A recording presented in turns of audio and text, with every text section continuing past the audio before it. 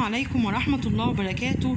الطلبة والطالبات الأعزاء طلبة الصف الخامس الابتدائي للمدارس العربي والمدارس التجريب اللغات والمدارس اللغات وأولياء أمورهم الكرام المشاهدين والمتابعين لمنارة العلم English for you أهلا ومرحبا بكم في لقائكم المتجدد على منارة العلم English for you ما زلنا مع بعض في سلسلة حلقات شرح منهج Connect 5 للصف الخامس الابتدائي ووصلنا مع بعض ال unit 1 lesson 5 and 6 اللي هو ال lesson بعنوان reading text عنوانه how to make بسبوسة أو ingredients of بسبوسة وهنبتدي نحل دلوقتي بعد ما نزلنا فيديو الشرح بتاع الدرس. عرفنا منه المين vocabulary وعرفنا منه ال important prepositions and expressions آه وقرينا ال text مع بعض وفهمناه. هنبتدي نحل آه التدريبات الموجودة عليه من مختلف الكتب الخارجية. هنحل القناة من كتاب قطر الندى كتاب الباهر كتاب المعاصر وكتاب Bit by Bit ودلوقتي بنحل مع بعض تدريبات آه قطر الندى. يلا نقول آه سبحانك لا علم لنا إلا ما علمتنا إنك أنت علام الغيوب. واللهم لا سهل إلا ما جعلته سهلا وأنت ستجعل علينا كل صعب سهل بإذن الله. وهنقول بسم الله الرحمن الرحيم ونبدأ مع أول exercise من كتاب قطر الندى على آه ال lesson بتاع unit 1 lesson 5 and 6 how to make بسبوسه بيقول read and complete اقرأ وأكمل. number 1 بيقول you should uh, better to use it. بيديني في ال box uh, كلمات قايل لي pour يعني صب share يعني شارك. ياكل مع حد يعني mix uh, يعني يخلط melt يعني يسيح weigh اللي هو يوزن فبيقول لي you should better to use it.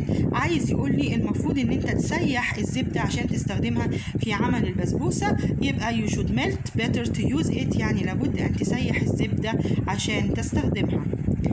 number uh, 2 بيقول لي نقط the mixture into a baking dish. عايز يقول لي صب الخليط بقى اللي هو السيمولينا مع ال coconut. مع ال sugar uh, مع ال melted butter كل الخليط بتاعنا ده. بعد ما عملنا له mix by hand عايزين بعد كده نعمله pour the mix into baking dish. يعني هصب الخليط في الصينية اللي هدخلها الفرن أو طبق الخبز يعني. فبقول pour the into a baking dish. يعني صب الخليط في صينية الفرن. number 3 بيقول I not out the ingredients. عايز يقول اللي هو يعني بيعمل عملية آه وزن للمقادير. بيشوف هحط إيه بالكيلو إيه بالنص هحط إيه بالكوباية إيه بالمعلقة وهكذا. آه طبعا إحنا خدنا ال prepositions فعرفنا إن ويت بيجي بعديها out فبقول weigh out يعني يزن. يبقى هقول I weigh out the ingredients يعني بوزن المقادير. number 4 بيقول she not food with her family. عايزة أقول إن هي شاركت الأكل ده مع عائلتها يعني أكلوا مع بعض يعني. كل واحد خد قطعة من البسبوسة اللي هي عملتها. فبقول she shares food with her family. يعني شاركت الأكل مع العيلة بتاعتها. طيب السؤال بقى كده بيقول choose the correct answer from A B C or D. هنختار الإجابة الصحيحة ما بين A و B و C و D. أول حاجة بيقول لي number one turn نقط the oven to get it hot. عايز يقول لي شغلي الفرن عشان يسخن. طبعا أنا عارفة إني أشغل يبقى turn on. أطفي يبقى turn off. هنا أنا عايزاه يسخن فمعنى كده إني هشغله فهختار turn on. ودي طبعا ضمن ال prepositions اللي إحنا خدناها في ال lesson يبقى turn on the oven to get it hot. يعني شغلي الفرن عشان يسخن number 2 بيقول لي نقط بسبوسة in the oven. عايز آه يقول لي آه دخلي آه البسبوسة دي في الفرن عشان تخبزيها. فهيقول لي اخبزي البسبوسة في الفرن. يبقى يقول لي إيه طبعا bake يعني يخبز pour يعني صب mix يعني يخلط eat يعني ياكل. طالما هنا بيقول لي في الفرن يبقى معناها إني هخبزها يبقى طبعا هختار bake يبقى bake the بسبوسة in the oven. طيب number 3 بيقول this is not you make lentil soup. عايز أقول له دي الطريقة بتاعت إزاي هتعمل شوربة العدس. يبقى this is how you make lentil soup.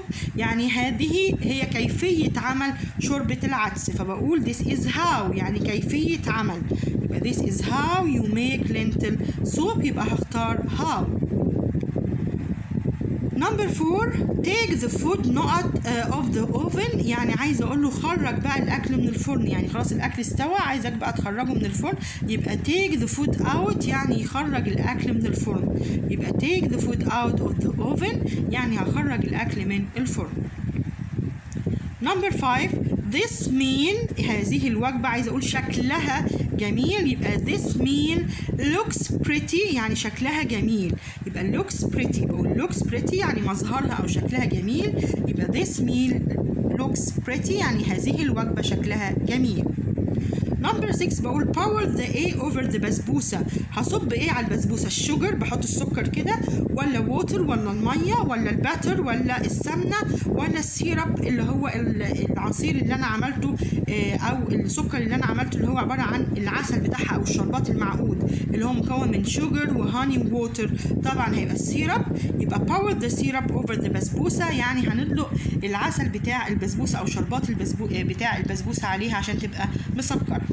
طيب number uh, 3 بيقول read the passage and answer the questions. بيقول اقرأ القطعة وأجب على الأسئلة. طبعا قطعة زي دي بتنمي عندك مهارة ال listening إن أنت تسمع وتفهم مهارة ال reading إن أنت تعرف تقرأ مهارة ال writing إن أنت تعرف تجاوب على الأسئلة بتاعت read and answer. okay؟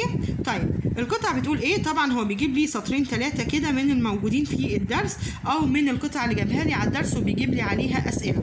لو نتذكر في فيديو الشرح آخر مرة كده كان في project عن ال mangoes وقلنا نخلي بالنا إن إحنا نحفظه ونفهمه كويس آه وبالمناسبة ال English حفظ مع فهم. أنت بتفهم القواعد بتاعه ال grammar وبعدين تعمل عليها practice عشان تعرف تستخدمها وتحلها صح. أنت بتحفظ الكلمات وتفهم معناها. بتحفظ تركيبات الجمل بتحفظ حروف الجر بتحفظ ال expressions التعبيرات. في ال English في جزء كبير قوي من الحفظ ما هواش فهم بس هو فهم مع حفظ مع ممارسة وحله أسئلة. عشان أعرف افتكر واتدرب في ما اغلطش okay طيب. ال project ده كان بيتكلم عن ال mangoes فهو هو جابهولي. زي ما كنت قايله لكم خلوا بالكم منه. ممكن يجيبه لكم في ال reorder ممكن يجيبه لكم في paragraph ممكن يجيبه لكم في قطعة وعليها أسئلة ممكن يجي في ماتش ممكن تيجي جملة في ال choose اهو هو هنا جابه في قطعة وعليها أسئلة. بيقول إيه بقى؟ بيقول mangoes grow in Egypt يعني المانجا تزرع في مصر. We can make a lot of drinks and dishes with it. إحنا ممكن نعمل مشروبات كتيرة وأطباق منها.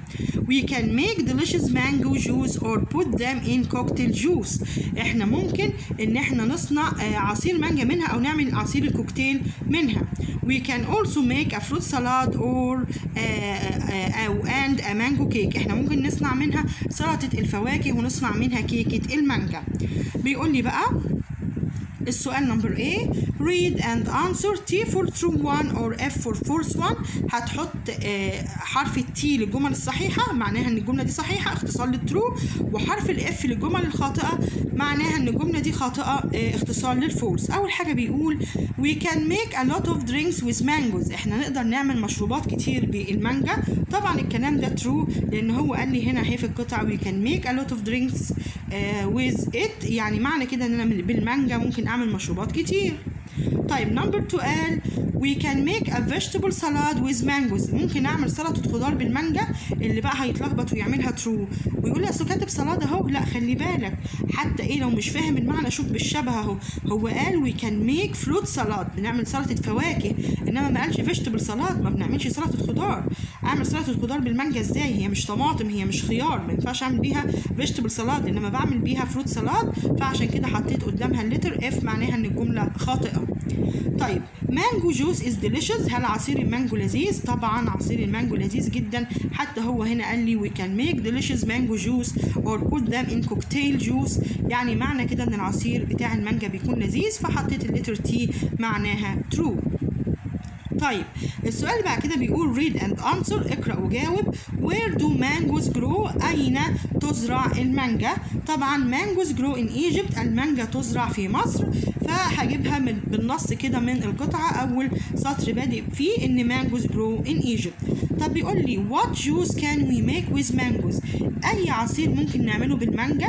تعالى كده للجملة لما بيقول make delicious mango juice or put uh, them in cocktail uh, juice. يبقى we can make delicious mango juice or put them in cocktail juice. يا إما هنعمل عصير مانجا لذيذ أو هنحطه فيه كوكتيل جوس يبقى دي أنواع العصاير اللي ممكن أعملها. بالمانجا. طيب بعد كده بيقول read and arrange the steps of uh, the, uh, the, يعني how to make بسبوسة يعني. الطريقة بتاعت uh, عمل البسبوسة والمقادير بتاعت uh, عمل البسبوسة. ها جايب لي uh, الطريقة وعايزني أرقمها. أرقمها إزاي بقى؟ هشوف بعمل إيه الأول. فطبعا هنا أول حاجة كان turn your oven on to get it hot. معناها إن أنت هتسخن الفرن عشان الفرن بتاعك يبقى سخن. بعد كده weigh out the ingredients. هتمسك المكونات اللي عندك توزنها بقى. تشوف هتحط إيه بالكوباية إيه بالمعلقة إيه بالنص كيلو وهكذا. بعد كده mix semolina و coconut و sugar and melted butter هنخلط بقى دقيق السميد بتاع البسبوسة مع جوز الهند مع السكر مع السمنة السايحة. بعد كده pour the mixture into a baking dish هصب الخليط دوت في صينية فرن. وبعد كده take it out of the oven. يعني إيه؟ بعد ما خلاص حطيتها في صينية الفرن ودخلتها الفرن هتكون استوت بقى هبتدي أخرجها من الفرن. بعد ما أخرجها من الفرن make the syrup هعمل العصير بتاعها أو الشربات يعني اللي أنا بحطه عليها اللي هو العسل اللي هو مكون من الهاني والشوجر والووتر والليمون جوس وبعدين هعمل إيه؟ بعد ما العصير ال syrup بتاعها ده أو العسل اتعقد خلاص وعملته هعمل pour the syrup over the بسبوسه يعني هصب الصوص اللي أنا عملته ده أو العسل اللي أنا عملته بتاع البسبوسة دوت عليها ويبقى دي how to make بسبوسة اللي هو إزاي أعمل البسبوسة والخطوات بتاعتها. آه طبعا هي ممكن يجيب لي آه أربع خطوات مثلا في الامتحان ويخليني إن أنا أرتبهم. آه ممكن يجيب لي paragraph يقول لي how to make بسبوسة وساعتها المفروض إن أنا أعرفه إزاي أعمل بسبوسة من خلال إن أنا حافظ الكام جملة مثلا أربع خمس جمل بكتب له المقادير بتاعة البسبوسة وبعملها إزاي. طبعا كل أم ممكن إنها تاخد ابنها أو بنتها معاها المطبخ وتجيب كيس من أكياس البسبوسة الجاهزة دي وتوريه بقى هي عملتها إزاي بحيث إن التطبيق العملي ليه يخليه يفهم الجمل بال English ويفهم الطريقة يبقى متخيلها بحيث إنه لو جاله paragraph في الامتحان يعرف يكتب عنه ويعرف يحل عن الدرس كويس. طيب بيقول لي السؤال الخامس rearrange the following sentences يعني رتب الجمل الآتية. ترتيب الجملة ببدأ بال subject الفاعل ثم ال verb الفعل ثم ال object ثم المفعول وعن طريق ترجمتي للجمله وفهمها ببتدي أعرف إزاي أجيب إيه قبل إيه يعني عن طريق إن أنا بعرف ترتيب الجملة بيتكون من إيه الجمله وترجمة الجملة ببتدي أعرف إزاي أحلها. ده غير أصلا إن الجمل دايما بتبقى جاية لي من الدروس مش جايب لي جمل ما شفتهاش قبل كده. فلو أنا مذاكر الدرس كويس حافظ الجمل وعارف معناها هعرف إن أنا أحل السؤال بتاع ال rearrange طيب أول حاجة بيقول لي number 1 delicious make we use can. عايزة أقول يبقى delicious make we juice can. عايز أقول نحن نستطيع أن نصنع العصائر اللذيذة يعني يبقى هقول we can make delicious juice يعني نستطيع أن نصنع العصائر اللذيذة. طيب in mangoes Egypt grow عايز أقول المانجا تزرع في مصر يبقى الفاعل اللي هو mangoes الفعل اللي هو grow والمفعول اللي هو in Egypt يبقى mangoes grow in Egypt يعني المانجا يعني تزرع في مصر أو تنمو في مصر. طب بيقول لك dessert favorite is my cake a mango.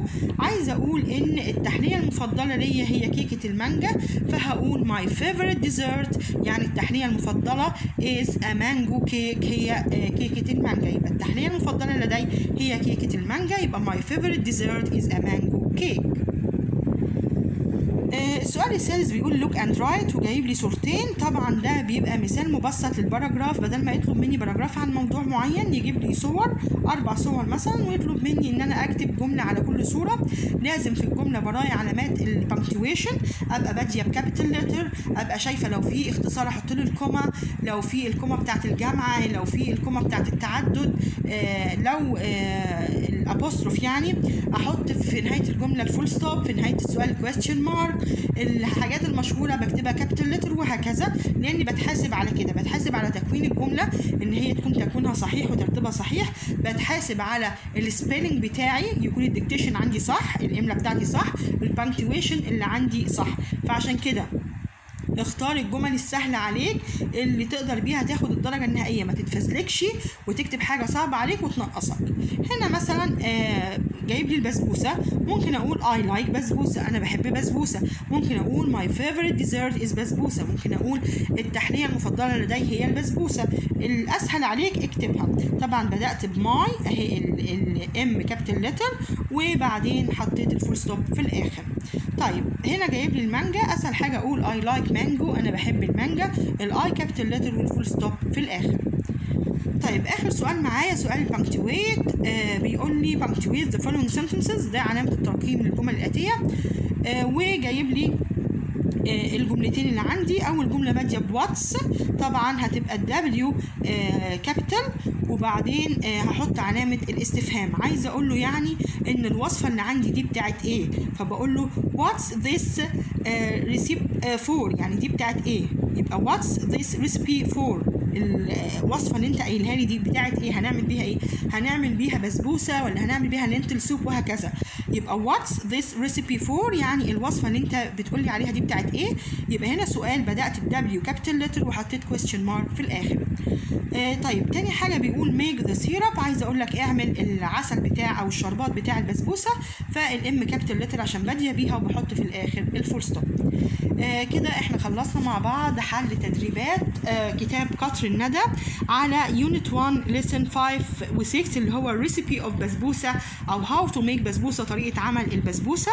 آه تابعونا بقى على القناة عشان هنحل برضو دلوقتي من كتاب المعاصر وكتاب بيت باي بيت وكتاب الباهر. آه شكرا على حسن الاستماع. يعني لو بتستفادوا معانا ما تنسوش بقى تفعلوا الجرس على الكل وتشتركوا في القناة عشان يجيلكوا انذار يعني إن إحنا دلوقتي موعد فيديو نزل فتبتدوا تخشوا وتشوفوا. فاشتركوا معانا وفعلوا الجرس عشان يوصلكوا كل اللي إحنا بنقدمه. آه تاني حاجة ما تنساش بقى ال like تحت الفيديو عشان الفيديو يرتفع وغيرك يشوفه. آه فتساعدنا إن إحنا نوصل العلم ده لأكبر آه قدر ممكن من الناس ممكن تستفاد بيه. وما تنساش إن شعارنا ساعد تؤجر. آه لو تعرف أي حد في سنة خمسة اعمل له mention وقول له إن هو يدخل يشترك في قناة منارة العلم English for you على اليوتيوب ويتابع ال videos معانا شارحين كل جزء شارحين ال grammar شارحين كلمات الدروس شارحين القطع شارحين المنهج أصلا عبارة عن إيه وبنحله إزاي وبنحل عليه كل الأسئلة اسئله من جميع أو معظم الكتب الخارجية الموجودة عشان نجمع أكبر قدر ممكن من الأفكار اللي ممكن تيجي في الامتحان. فما نتفاجئش بأي فكرة أو أي حاجة تجيلنا في الامتحان نكون نعرف نحلها بإذن الله. with my best wishes كانت معكم مناره العلم انجلش فور يو thank you and goodbye